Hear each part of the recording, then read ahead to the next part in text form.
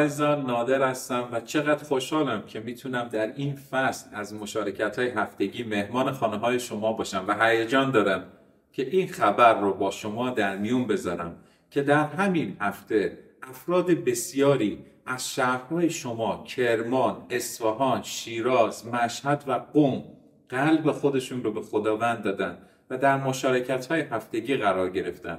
پس می‌خوام به شما بگم که شما تنها نیستید.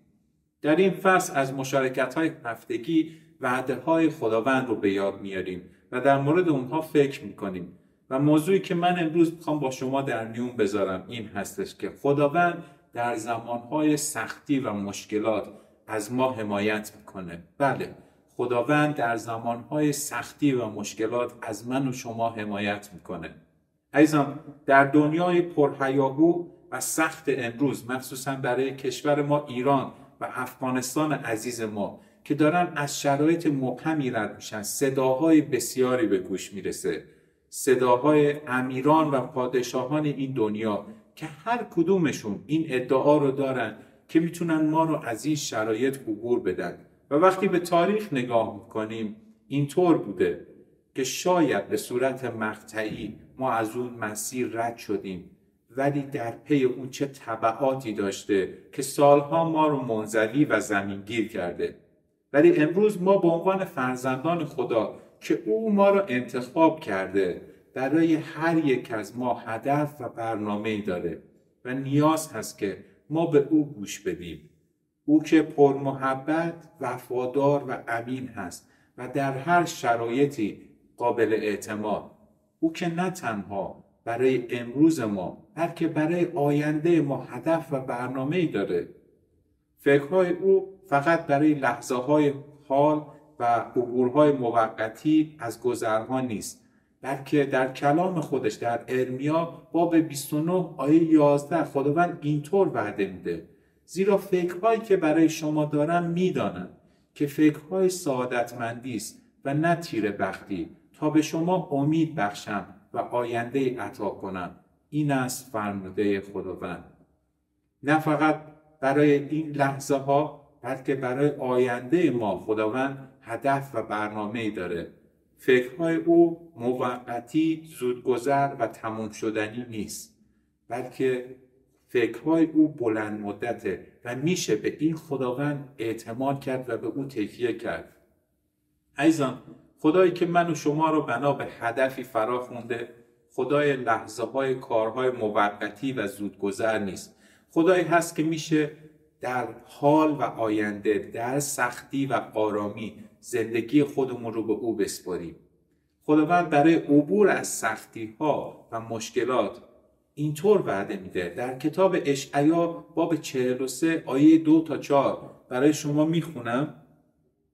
چون از آبها بگذری با تو خواهم بود و چون از نهرها عبور کنی تو را فرو نخواهند گرفت.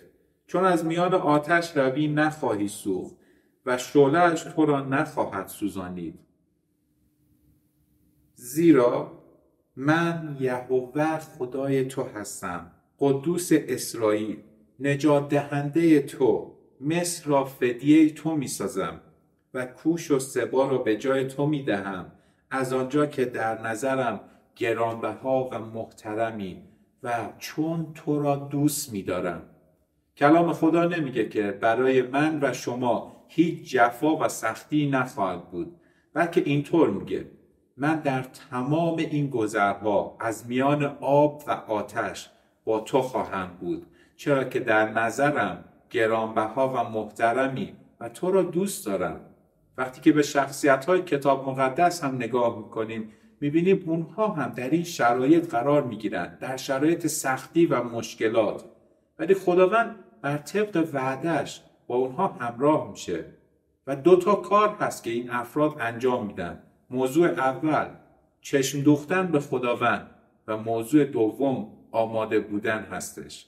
یکی از نمونه هایی که در کتاب مقدس می‌بینیم در کتاب دانیال باب سه هست که تشویقتون می‌کنم بعدا مطالعه بکنید دوستان دانیال شدرک، میشک و عبدنبو در شرایط قرار می‌گیرن که پادشاه از اونها می‌خواد که در برابر اون مجسمه طلا سجده کنند و میگه اگر سجده نکنین شما رو در کوره آتش میندازم.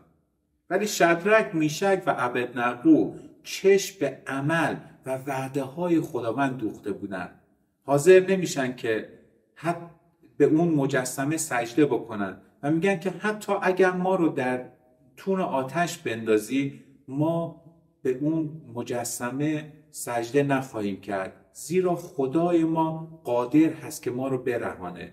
و حتی اگر نرهانه ما باز هم در برابر اون مجسمه سجده نخواهیم کرد.